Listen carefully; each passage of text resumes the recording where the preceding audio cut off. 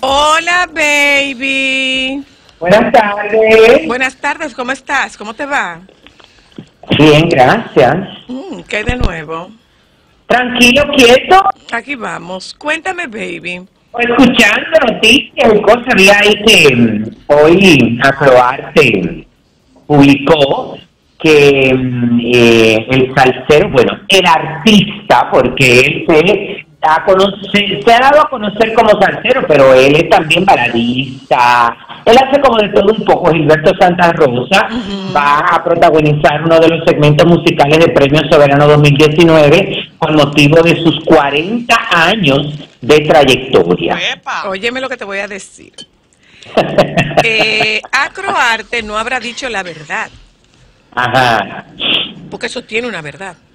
¿Cuál es la verdad? Esa fue una condición que puso Milagros para aceptar ser la conductora.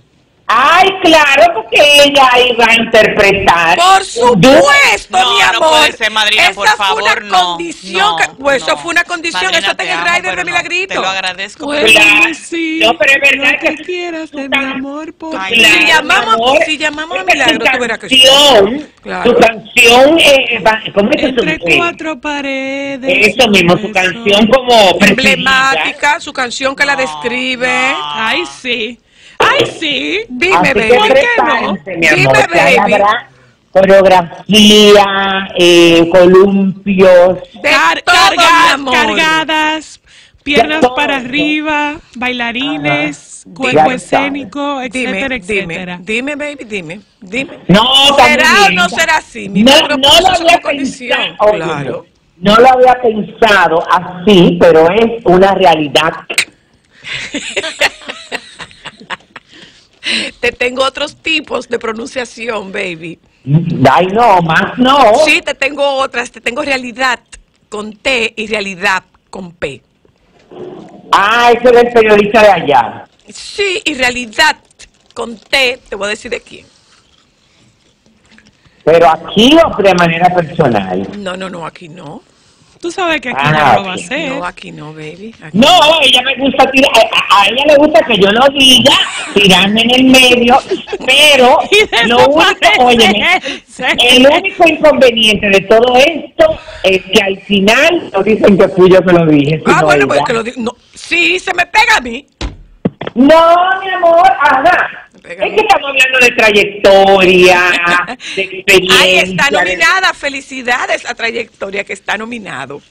Ay, sí, yo, eh, está muy bien, ay, sí, claro. Sí, muy buen, muy bien, muy bien. Está muy bien. Mira, por otro lado, hay una noticia que, que la quería comentar con ustedes eh, hace unos días y que me pareció eh, como muy acertado de su parte, porque sobre todo estamos hablando, y tú sabes que esa, eh, esa cuestión, soy la de tener una disciplina de ir al gimnasio, de alimentarse correctamente, eh, hay que tener mucha fuerza de voluntad y sobre todo eh, que la gordura, el sobrepeso, te trae muchas complicaciones en tu vida. Lo estoy hablando porque Fernando Villalona, el Mayimbe, anunció a, a través de sus redes sociales que se va a someter a una cirugía bariátrica en los próximos meses. sí, eso dijo, eso dijo. Eso Digo, dijo. porque tú sabes Pero ¿y él que... está en tanto sobrepeso como para someterse a una Creo que tiene cirugía 300 bariátrica? libras. Bueno, Creo amor, que leí que tenía como 300 libras en algún lado. No, no, Sí, sí. Retiro el dato porque no, no me consta. Creo, pero Oye. creo que sí, que Pero bueno, él lo puede, eh, yo me parece que lo puede tener porque primero Fernando es un hombre muy alto. sí, Fernando es un hombre muy harto. Y, eh, y nada, estamos, eh, eh, bueno, habló de que en el mismo escenario se está cansando, que ya después que tú tienes un sobrepeso así y tienes tanto porcentaje de grasa, todo eso en tus controles de triglicéridos, de colesterol, todo eso se va reflejando y también Claro. vuelvo y te digo, óyeme, no todo el mundo tiene esa fuerza de voluntad para haciendo ejercicio. Eh, mira, Ahora, eso no asegura que usted se va a quedar así, que hay muchas personas, no estoy hablando por el caso de, de, de Fernandito, estoy hablando por el caso de mucha gente que yo tengo de, de cercana, que se sometió en su momento a cirugías bariátricas eh, y que no continuó, óyeme, con una alimentación equilibrada, con hacer ejercicio y han vuelto a aumentar de peso. No hizo el cambio en el estilo de vida. Para nada, eso es. Usted tiene que hacer el cambio de estilo de vida. Por eso, yo te quería preguntar, porque la verdad que no he, no he averiguado mucho con relación a eso. Cuando una persona decide someterse a una eh, cirugía de bypass, ¿de así que se dice? Un La bypass, un- un bypass gástrico. Ajá. Eh, no tiene que pasar por un proceso con un psicólogo, Sí, psicológico. sí, sí. Óyeme, quien haga ese procedimiento de manera seria, de manera responsable, eh, de manera ética y profesional. eh, lo primero, yo tuve una, tuve una vez una un paciente que vino donde mí a, buscar una certificación porque el médico le exigía una certificación psicológica de que él estaba hábil para hacerse ese procedimiento.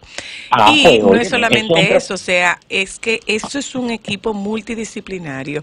Y en ese equipo multidisciplinario hay un psicólogo pre y post el procedimiento. Tiene que ser, tiene que someterse a un Sí, a una- tiene que someterse a un proceso terapéutico. Oiga, lo que viene después no es fácil.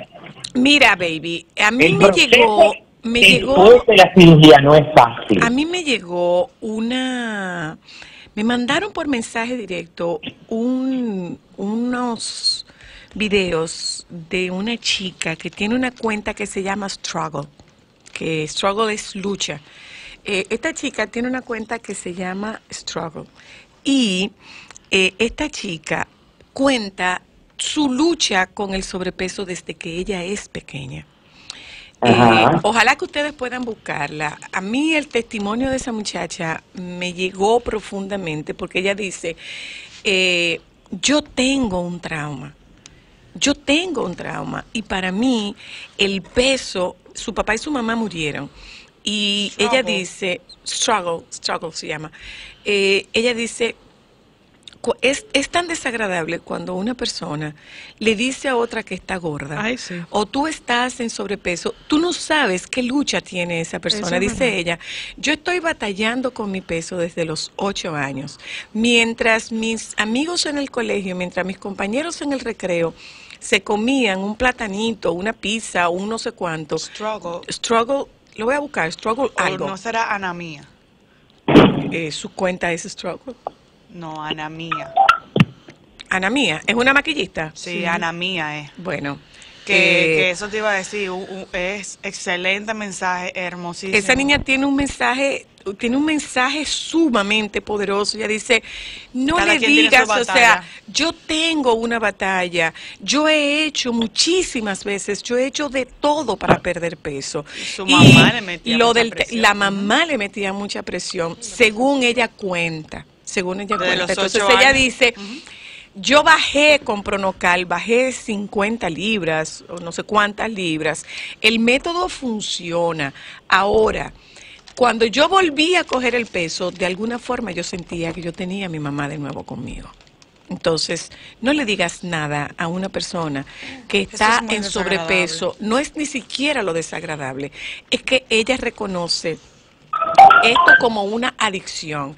Y al tener esta adicción, Pero ella también te habla de, de, de cómo Va- la voy a belleza publicidad, es según voy- los voy a cánones publicidad, del- como voy el a otro quiere que tú te veas.